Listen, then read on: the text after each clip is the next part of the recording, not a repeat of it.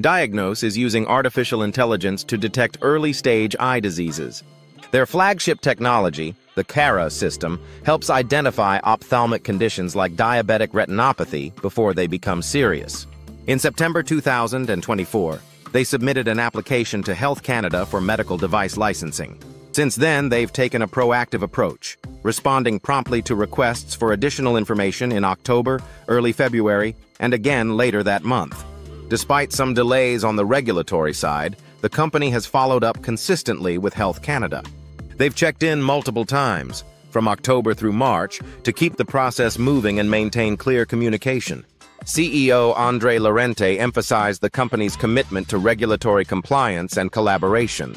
Diagnos is clearly focused on bringing the CARA system to market as part of their broader strategy to advance early diagnostic solutions powered by AI. For more info, visit diagnos.com.